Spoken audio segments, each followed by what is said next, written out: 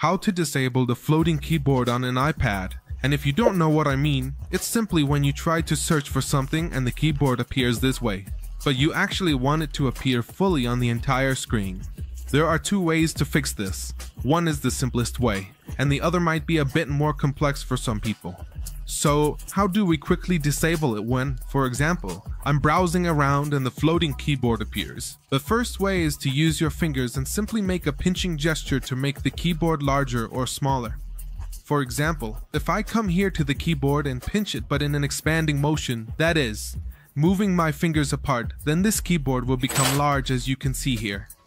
But if I now use my fingers and instead of pinching to expand, I pinch to close, then the keyboard will become small. You may need to try this several times if you can't do it at first. Now, it might be that you try this and it doesn't work. What are you going to do in this case? You are going to go directly to the settings of your iPad by clicking on this icon down here. You are going to scroll through here and go directly to where it says General, which is this option here. And then when you enter General, this will appear here that says software update. You will go there, and here it will show you if your iPad is up to date or not. Try to always have an updated version because if not, this option might not be activated on your iPad. Now, this is the first option you have to make the keyboard appear as a large keyboard or a floating keyboard.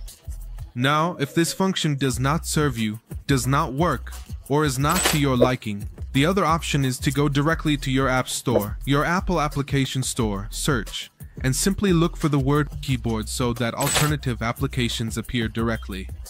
So, there is a keyboard from Google, there is a keyboard from Microsoft, and these options will directly replace the keyboard of your iPad so that you can use alternatives without the need for the floating keyboard and without configuring it all the time.